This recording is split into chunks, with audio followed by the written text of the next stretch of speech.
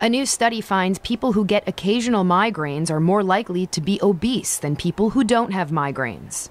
They have a, um, a, a, BMI that's either slightly over the, the normal range or grossly over the normal. Johns Hopkins University researchers studied nearly 3,900 people. About 1,100 of them were obese. Results show obese people were 81% more likely to have episodic migraine than normal weight people, and women were even more at risk. This occurs under the age of 50, mostly in the population under the age of 50, mostly in white versus uh, African American uh, females. Researchers say the next step is to determine if weight loss programs may help overweight and obese people with episodic migraine. Dr. Stillman agrees. We certainly recommend people uh, exercise and go on a, uh, be careful about their diets in, in a variety of ways, and to go on some sort of weight maintenance program. With Everyday Health, I'm Taryn Brill.